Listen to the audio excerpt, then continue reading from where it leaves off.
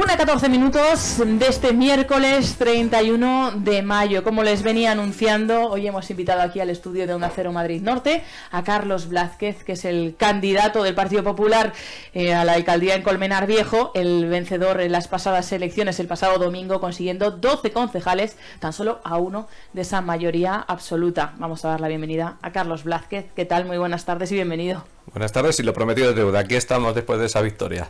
Bueno, tuvimos ocasión de hablar el mismo domingo de madrugada ya acerca de esa valoración, pero bueno, ya con otros dos días, tres días, no sé si de descanso, pero sí de un poco asumir y, bueno, pues eh, interiorizar los resultados. ¿Cuál es la valoración que hace a este miércoles 31 de mayo? Lamentablemente para mi mujer y mi familia no ha sido de descanso, porque bueno, al final eh, están siendo días intensos y efectivamente haciendo análisis y balance de todas las situaciones, eh, de todos los resultados eh, que hemos tenido y yo creo que es un excepcional resultado, es un muy buen resultado el que hemos tenido, aumentando tres concejales, subiendo en porcentaje de votos, teniendo más votos. yo creo que, estamos muy satisfechos con, este resultado. Siempre nos hubiera gustado sacar mayoría absoluta o mayorías absolutas amplias. Ayer en la Junta Directiva del Partido Popular de la Comunidad de Madrid, eh, bueno, pues se veía como por ejemplo en Torrejón o en Boadilla sacaban porcentajes, eh, bueno, casi idílicos, ¿no? El 60, el 70%, bueno, son fantásticos. Bueno, yo creo que son unos muy buenos resultados para Colmenar Viejo que permite que el Partido Popular eh, pueda seguir gestionando estos años.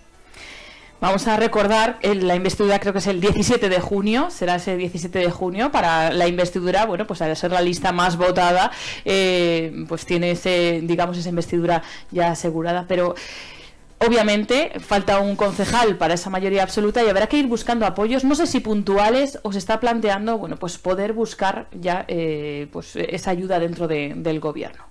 Bueno, yo lo primero que quiero es eh, llamar a los portavoces, a los candidatos eh, que se presentaron y concurrieron a estas elecciones y, ver qué planteamiento tienen de cara a la siguiente legislatura, si lo que quieren es contribuir, si lo que quieren es mejorar Colmenar Viejo, si lo que quieren es sacar adelante proyectos que sigamos mejorando. Y en definitiva esto se traduce en que hagamos un centro de mayores, en que consigamos hacer ese eh, teatro de la zona centro, que rescatemos ese mercado de abastos, bueno pues todas esas cosas que por lo menos en mi caso hemos eh, propuesto durante toda esta campaña y que nos presentamos con esa eh, compromiso y que lo que queremos es sacar hacia adelante. Si alguno, sin líneas rojas, eh, si alguno quiere contribuir, colaborar a sacar y a que seguir haciendo que el municipio de Colmenar Viejo pues se sitúe como la bandera de la zona norte, pues nosotros siempre vamos a estar abiertos porque recordamos que esta legislatura que termina, el Partido Popular pues arrancó la legislatura en acuerdo con Ciudadanos, con esos dos concejales que luego fueron no adscritos. No sé si esta experiencia de ampliar eh, de introducir en el gobierno otra formación, pues eh, cree que puede ser una de las opciones o no lo ve necesario. Como digo, no hay nada cerrado y no hay nada hecho, no hay nada decidido ni hacia un lado ni hacia el otro lado. Eh, hay que hablar con todos, hay que escuchar también lo que pide la sociedad y en función de todo lo que, bueno, de, todas las informaciones que te llegan, pues se tomará la decisión. Pero en cualquier caso, eh, eh, como digo, yo creo que, y eso sí eh, creo que es un buen resultado, y es que todos los portavoces son personas que se pueden hablar con ellos y se puede sentar tranquilamente a, hablar sobre Colmenar Viejo y sobre el futuro de Colmenar Viejo. Es verdad que hay diferencias ideológicas, pero yo creo que habrá posibilidad de que nos entendamos de una manera o de otra. Ya veremos cuál es el mejor de los destinos y sobre todo que encontremos la mejor fórmula para Colmenar Viejo. ¿Esa fórmula en qué se va a traducir? Ya hemos tenido ocasión de conocer el proyecto con el que se presentaba las, las elecciones, pero bueno, no está de más eh, recordar cuáles son los principales proyectos o los retos que le gustaría desarrollar en estos cuatro años. Bueno, pues un poco lo que hemos dicho. Yo una de las primeras cosas que quiero ponerme a hacer es em, ese centro de mayores que, tan necesitados eh, yo creo que estamos de él y, y hay que ponerse a trabajar rápido para que esté lo antes posible. El plan general es algo absolutamente capital. Hay algunas opciones que, no entienden qué es un plan general, que no entienden qué es lo que se consigue con el plan general. Un plan general es eh, la herramienta urbanística que moldea y modula eh, qué es, eh, cómo va a ser el municipio en los próximos años y es absolutamente capital para traer economía, para generar puestos de trabajo.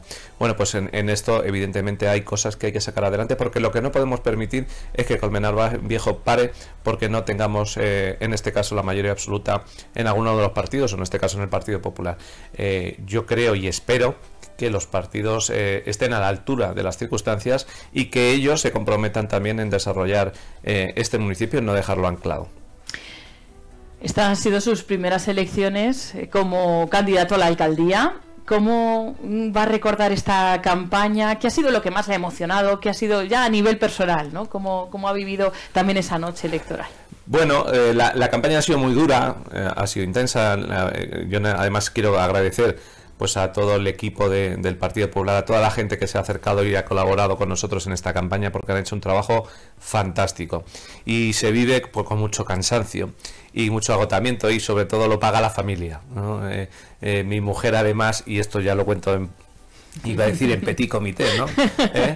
Pero mi mujer cuando se enteró ayer que ayer o antes de ayer, que ya no sé muy bien el día que digo, que iba a haber elecciones generales que las había situado eh, el 23 de, julio, que nos coincidía con las vacaciones que ella había reservado eh, en su trabajo y que no se las cambian, pues no te puedo decir que contenta está con esto, ¿no? Entonces, bueno, pues, pues esa intensidad, ¿no? De, la, de, intentar darlo todo por el municipio, eh, de, estar peleando para sacar para el Partido Popular la mejor de, de las opciones, eh, bueno, pues eh, son muchas veces eh, incompatibles, pero bueno, lo va sacando, son muchas emociones de muchas maneras diferentes.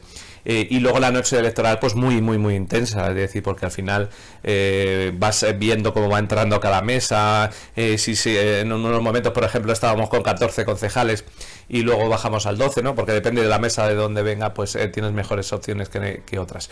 Bueno, pues es verdad que es un cúmulo de sentimientos, de emociones, pero que tampoco te dará tiempo a digerirlas. Yo creo que de pasados unos días será cuando realmente sea consciente ¿no? de, todo lo que ha acontecido, de todo lo que hemos peleado, de todo lo que hemos sufrido, de todo lo que eh, nos hemos felicitado también, ¿no?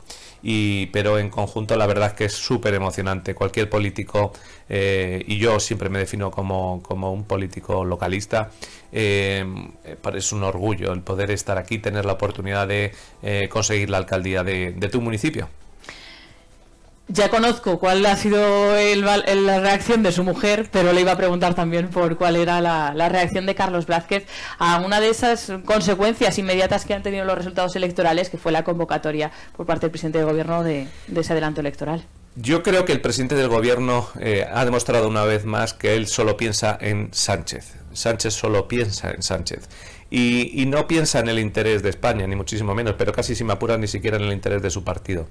Eh, no me parece muy lógico convocar unas elecciones eh, a 54 días en el pleno mes de julio. Yo muchas veces pienso, oye, eh, la gente que estemos, que vamos a estar aquí en Colmenar a 40 grados en colegios electorales metidos, eso no tiene mucha lógica. Va a haber muchas personas mayores que van a tener verdaderos problemas para ir a votar con esas temperaturas. Pero si nos vamos un poquito más abajo, en Castilla-La Mancha, en Extremadura, en Andalucía, allí se cogen temperaturas muy altas en esas fechas. ¿Cómo van a ir? E, es decir, eso lo ha pensado en un cálculo eh, partidista y personal eh, para intentar conseguir los mejores resultados, que además creo, y vista las elecciones eh, locales y autonómicas, que no le van a acompañar nada a los resultados. Pero claro, lo que no puede hacer es someter su necesidad personal a toda una nación. Me parece un escándalo.